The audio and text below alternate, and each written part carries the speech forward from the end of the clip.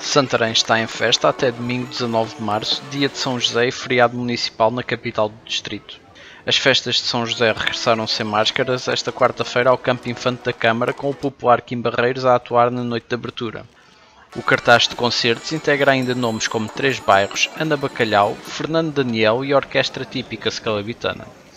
Depois da habitual homenagem a Celestino Graça, o Presidente da Câmara de Santarém, Ricardo Gonçalves, e outros autarcas inauguraram as festas, acompanhados por muitos convidados. No recinto não faltam atividades equestres, tauromáquicas e desportivas, diversões e artesanato.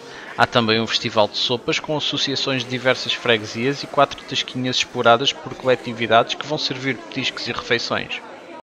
Leia jornais em papel. Não seja antiquado.